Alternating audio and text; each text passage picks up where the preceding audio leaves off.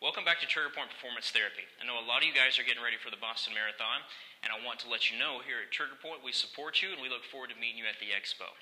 As you start to get into your taper weeks, and a lot of times you can get anxious or jittery because you're cutting your miles down and you feel like you should be doing more. But what you can do is spend that extra time working on your recovery.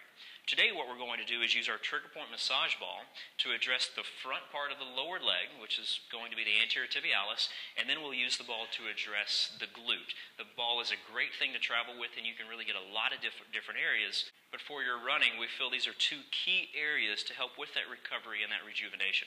So let's begin with that anterior tibialis. So it's very easy to find the anterior tibialis by just flexing the toes up. Then you'll be able to feel that muscle pop out. We'll divide that up into three zones with our trigger point massage ball. We'll start at the bottom of the muscle. They're in zone one. So let's position that there. Now this is going to be, position your hands like it's reverse CPR. Hopefully you never have to give CPR to yourself. But if you did, you would do it with this hand position. Now bring the knee up closer towards the chest and then relax the foot. Relax. There we go. And get the elbows out wide. That's going to help with our pivots. So our motions here are going to be four pivot motions with the ball and then four rotations with the foot. So let's take a big breath in. As you release the breath, pivot one and keep it nice and consistent. Two, three, and four. It's a perfect job. And now let's do four rotations of the foot. I like to do two rotations in each direction. Nice big rotation so you're actually pulling that muscle through the area.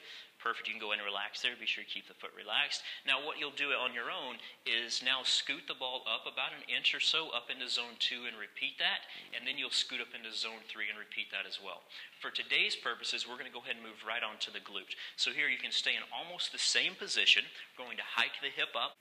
And after we position the ball there in the glute, we're going to take this opposite side leg and bend it up to where the foot's flat on the ground, and then outstretch the side that you're working. Now here we're going to have three different moves on the glute.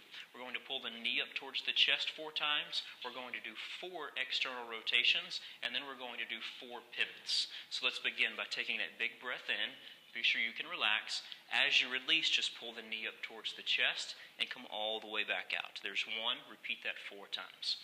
Also, with the hips, you may want to try pivoting the hips into the ball a little bit more or less, however you feel necessary. Up again and down. We have one more. Go ahead and pull up and down. Perfect. Now let's bring that leg up and put the foot flat on the ground. And now we'll do our four external rotations. So, again, a big breath in so you can relax. Good job. As you release, let the knee fall out as far as you're comfortable with. If it can go all the way to the ground, that's great. If it can't, then don't make it. And we'll repeat that four times as well. There's two, two more, out. There's three, perfect. We have one more. Try to keep the spine nice and neutral. Very good job. Now, from this position, use leverage with your feet and leverage with your hands and just sort of pivot yourself on the ball two times in each directions. And just notice how that motion comes from the hips.